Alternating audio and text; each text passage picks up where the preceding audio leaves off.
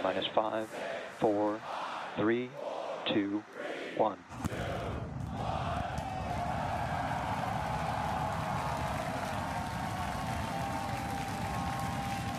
We have liftoff. Vehicles pitching downrange.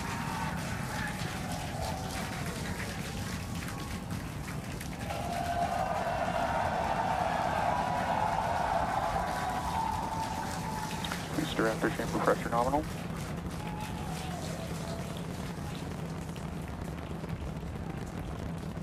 Thirty seconds into the flight, the rumble's just starting to reach us here at launch control.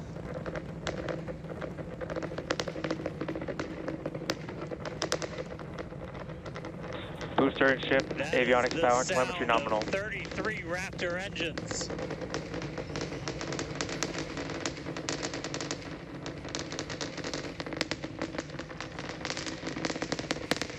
Max Q.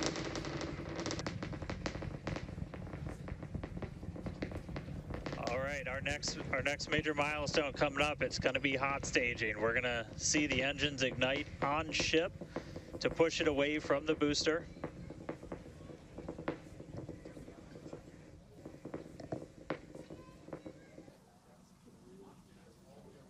Can still see it up behind me. That is one of the most gorgeous things I've ever seen in my entire life. Coming up on hot staging next. Ship engine There's startup. both engines cut off. Stage separation. Booster. So incredible to see these views. You can see the ship on the right-hand side of your screen. All six Raptor engines are uh, under full power. Once again, the, the ship, excuse me, the booster is making its way back to the And in order to And guys, we should just be about 30 seconds away from Booster, our landing burn. It's going to happen in three phases. We're going to land 13 engines, burn off all of that velocity. Oh, we can see it coming down through the plume. booster coming in hot for booster catch. Gonna ignite 13 of those Raptor. Landing burn has 13 been ignited.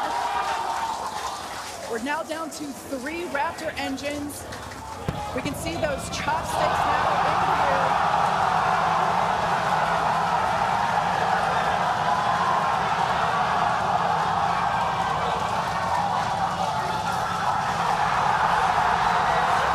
Booster landing burn shutdown. Mechazilla had popped the booster.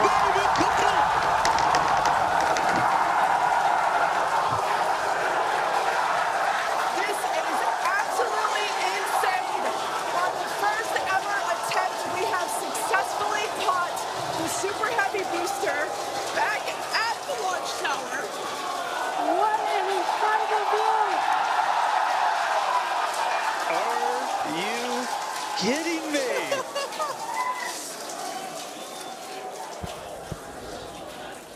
Uh, Dan, Wow. uh, I don't know about you, but we're, we're losing our stuff up here. this in turbo bed.